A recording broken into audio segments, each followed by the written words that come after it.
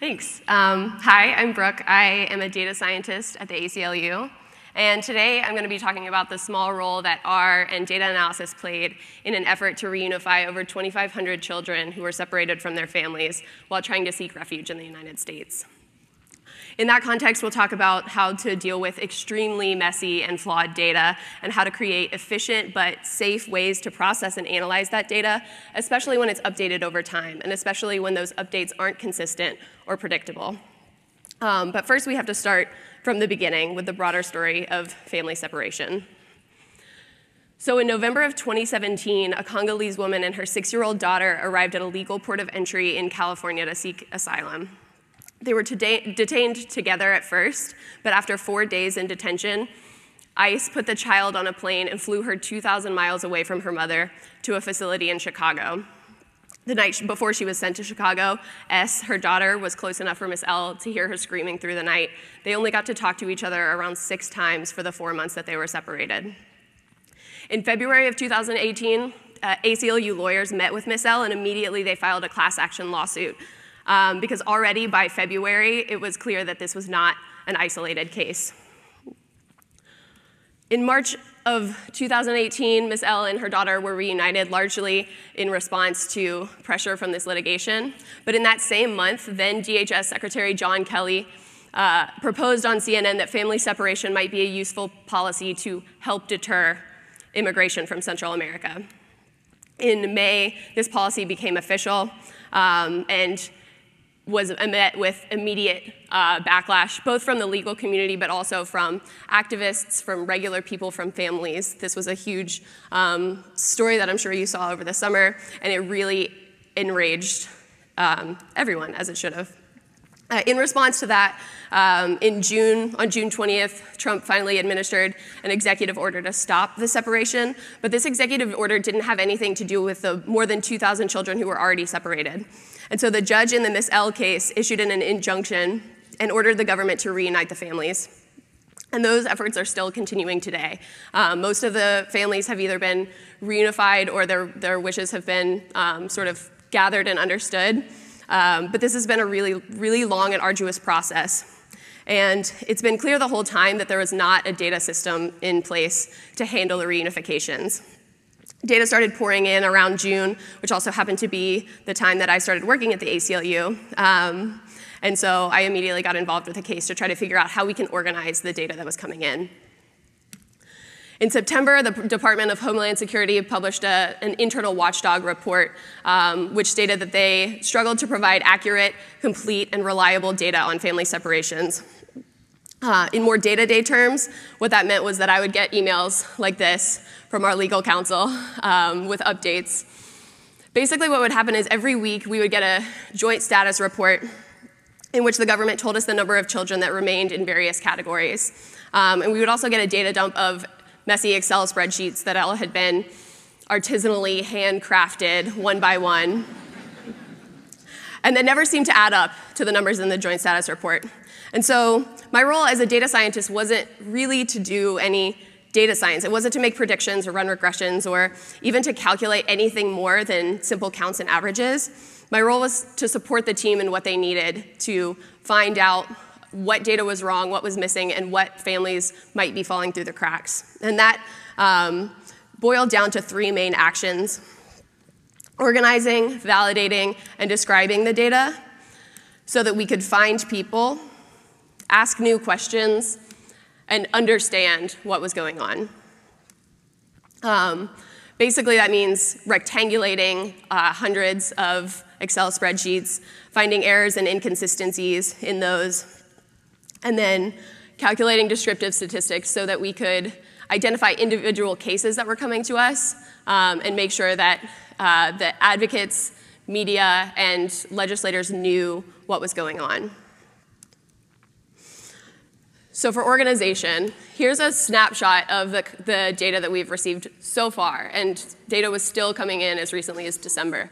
Um, this isn't big data by anyone's definition, I don't think, but it's certainly big enough to not be able to do everything manually by just looking at one spreadsheet.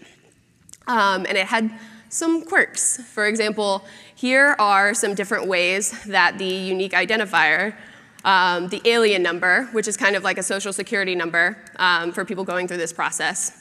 Uh, here are all the different fields that we could have joined on.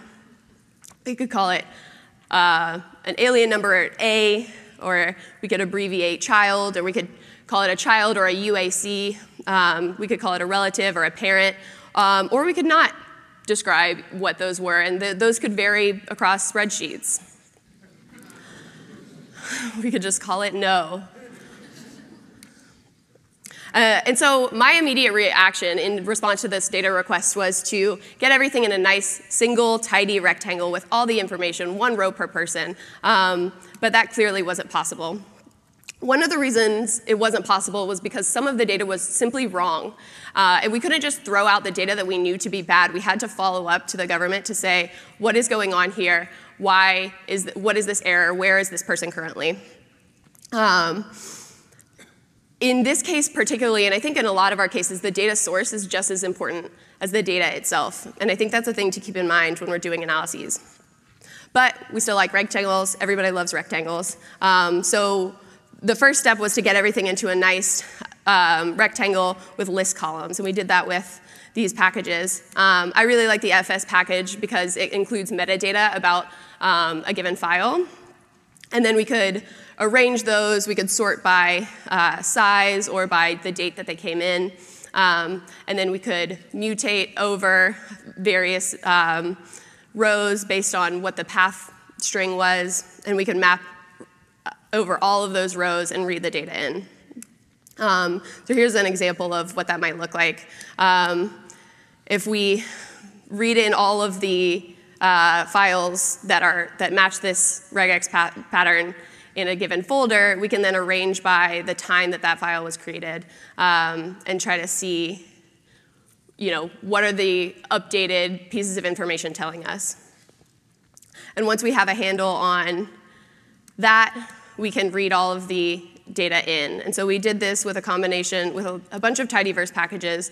Um, Purrr was really, really useful in unnesting um, the various sheets. So what we're doing here, just to walk through, is we're mapping over um, a read Excel function called Excel Sheets so that we can see the names of all the different tabs. We're making it so that there's one sheet per row, and then we're reading all the data in based on those uh, sheet names. And so once we have everything, at least in one, one location in R, we can start to ask questions um, and see if the data makes sense. And Spoiler alert, it often did not. Um, here are some examples of some errors, to put it lightly, uh, that we found in the data. There were a lot of uh, book-in dates that were later than people had been deported or children who had been reunified before they had even been booked in. Um, we had 22 children who were reunified with themselves. Um, and then 73 parents who had deportation dates after um, that essentially was uh, not allowed anymore. And so some of these obviously are data errors, but we don't know anything more about what is the location of that actual individual. Um, and there's nothing we can do from a data perspective once we get to this point. We have to turn around and say, what is going on with these 22 rows? Because it's really important whether they were actually reunified with their parent, but the identification number was entered wrong, or if they're still somewhere else. We don't know. Um, and so we did this with a series of um, assertions and filters to help us find errors. And so we have that nice um, rectangle of list columns. Uh, we can unnest the data so that we can have one row for every row of information. And we have tons and tons of columns because of the variable name problems that you saw earlier. But this way, we can filter to which are the rows in which the child's alien number was the same as the adult's alien number. And then we can look at what that path is and say, this is the Excel sheet where we have a problem. This is the source of that information, and return to that source and figure out what's going on. Um, we can also use uh, verifications and assertions, which um, we can put right into a tidyverse style pipe so that we are making sure that, for example, all of the children only have one age and one gender associated with them. So if we're going to tabulate how many children under 10 are separated from their parents, um, we're not double counting anyone. And so once we get at least a subset of the data that we um, feel reasonably trustworthy about, we can start to describe it. And we can start to put it in pictures. So again, if we take that pipe from before um, and we pipe it into a ggplot, um, we can look just at a distribution of the ages and genders of all the children. And this um, patterns jump out that we might not have expected. The two big patterns in this data for me are the jump between five-year-olds and four-year-olds, um, and the time trend of especially teen boys. Um, so one of the sort of peculiarities of this case was that children who were zero to four were put in a special category and expedited um, for reunification. Um, but, and so the way that was reported on, there were around 100 children who were between the ages of zero and four, and around 2,500 who were older than five, um, which makes it seem like, okay, this is bad, but maybe we're doing a better job with the, the youngest children. When you cut the data differently, we find out that more than 1,000 children were under the age of 10 when they were separated from their families. Another important thing that we wanted to visualize, and we did this with Leaflet, is where the children were in space. So I think we think of family separation as a border problem, and it's true that most people did come in through the southern border, but that's not where they stayed. Um, children were sent to uh, essentially foster care facilities all across the country. There were uh, ended up being over 400 children that ended up in New York.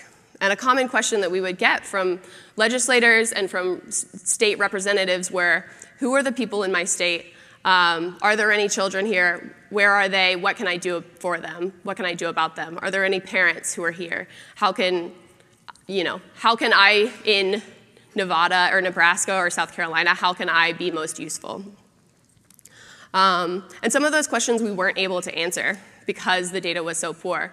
So one of the um, things that we didn't get accurate uh, and consistent updates on was reunification date. We really wanted to know how long children had been separated, um, but we weren't able to uh, effectively and responsibly calculate that because there was so much missingness.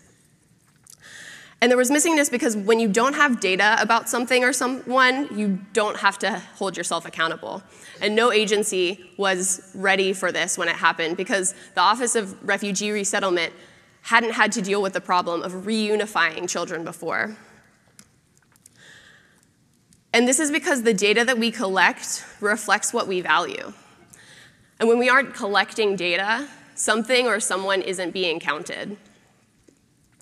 I think this was said most succinctly um, and clearly by the federal judge in this case, who commented that we have methods of, of keeping track of the belongings and the objects of people who are coming in through this process, but we had no system in place to provide effective communication with um, with children and to keep track of them and to eventually reunify them with their families.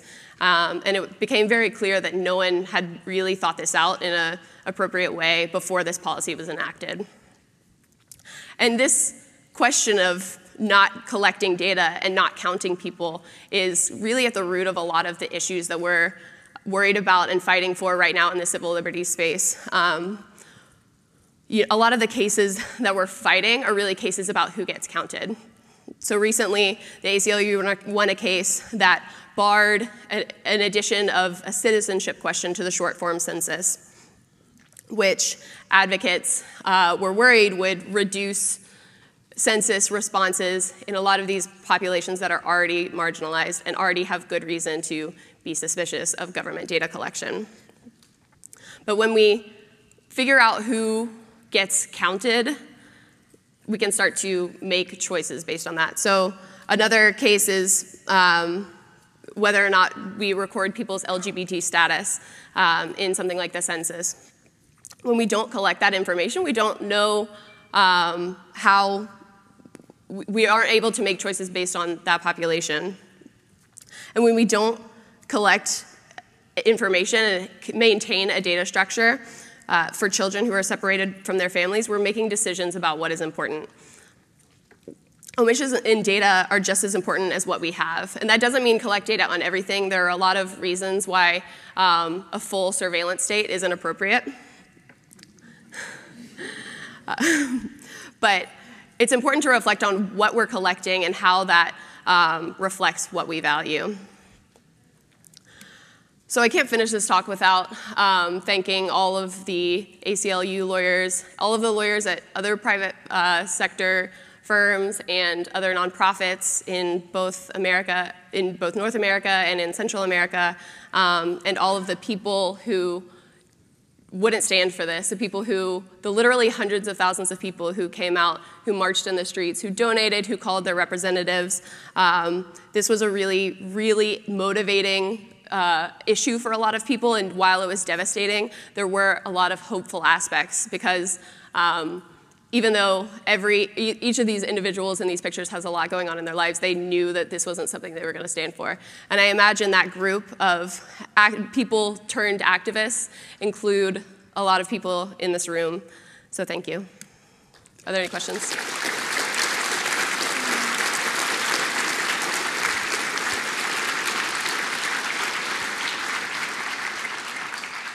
We'll have time actually for just one question. Is there somebody who would like to ask a question? Here we go.